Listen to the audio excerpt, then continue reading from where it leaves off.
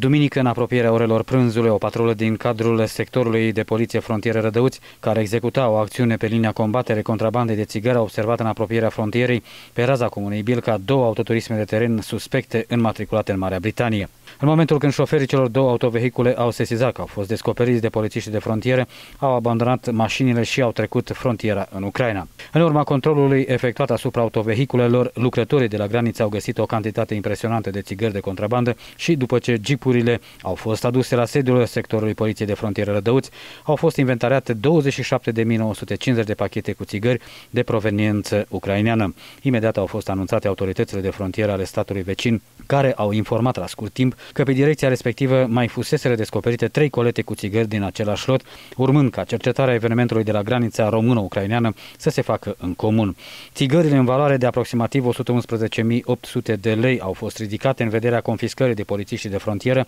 iar cele două autoturisme de teren au fost indisponibilizate pentru continuarea verificărilor.